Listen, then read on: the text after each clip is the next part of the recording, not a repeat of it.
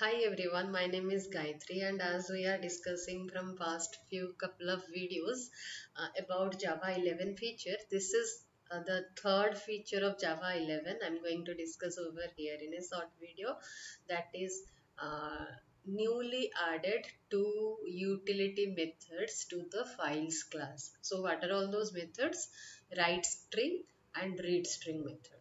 So how exactly we can use these methods?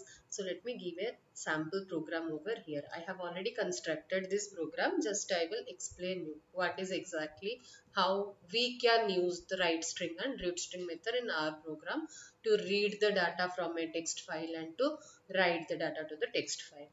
So here the thing is we are using the path interface so here we are creating one object equal to paths.get. So paths.get will help us to specify the object of the text, the um, location of the text file. Like my, this is, so you can see three parameters over here. This is the drive location, this is the folder name and this is the file name.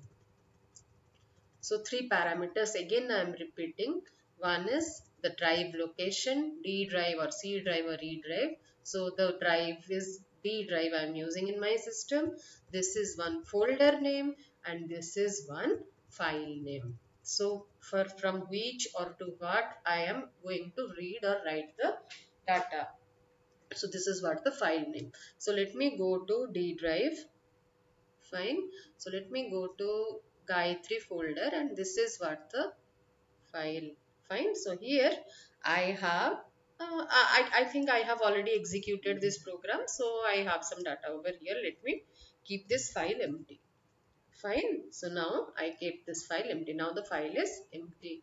Now by using write string method so how can we use write string method?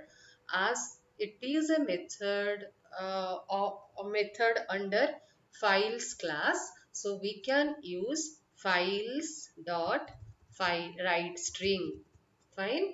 And this path object that is file1 so what exactly you want to write to the uh, particular file? So that data you can specify or store it in a string and put the string name over here. Whatever you want you can do. So i gave here the data as hello everyone. Have a nice day then the third one, third parameter is standard open option dot write. I want to write the data.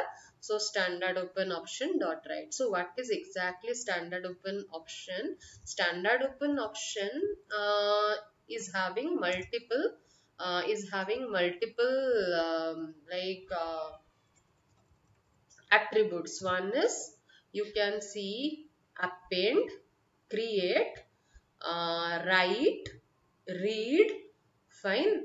So usually we can use read write and append. So now i am just using write. Okay? So now because i want to write this data to the particular file misra.txt which is available in Gayatri folder and D drive. And Gayatri folder is available in D drive. So I specified the path here fine by using path space variable name equal to paths dot get and full uh, drive folder and file name. Now as I am trying to write the data to a file try catch is obvious thing I should not discuss about it.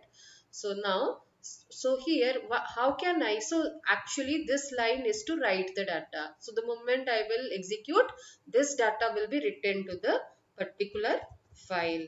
Now how exactly we can read the data by using files.read string and putting it into the string variable and uh, writing the data in sysout. So now I can just execute. Fine. So now you can see the data has been written and we can able to read the data by using read string method of files class. So this is what the newly added utility methods in files class which is super easy to use. Fine. So let me just go to this file and cross check the data has been written. Thank you so much. I think this is useful. Have a nice day. Thanks for watching.